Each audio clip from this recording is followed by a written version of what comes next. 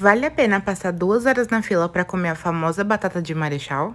Ela é até considerada um patrimônio cultural da cidade do Rio de Janeiro.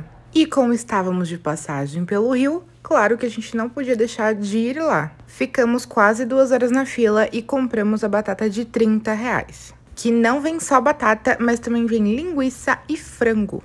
Ela é famosa porque além do pote de batata, ela é colocada numa sacola e colocado mais e mais batata até o topo. Gente, em questão de preço, vale super a pena, é muita coisa. E também é muito gostoso, então sim, a gente achou que valeu a pena a espera. Além da batata, tinha alguns molhos disponíveis pra gente pegar. Então a gente pegou todos esses e compramos uma coca. Valeu a visita e é isso, curta, me siga pra mais. Beijos e tchau!